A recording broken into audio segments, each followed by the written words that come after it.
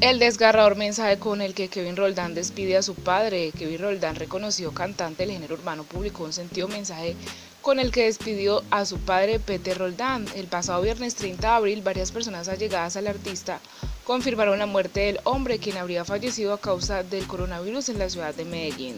Un día después de conocerse esta información, Kevin Roldán reapareció en sus redes sociales para confirmar la noticia y dedicarle unas sentidas palabras a su padre, quien también ejercía como su manager desde el inicio de su carrera musical. Junto a varias fotos y videos en donde aparecen juntos a personajes como Cristiano Ronaldo y Daddy Yankee, el joven de 28 años de edad escribió una dedicatoria que conmovió a más de uno.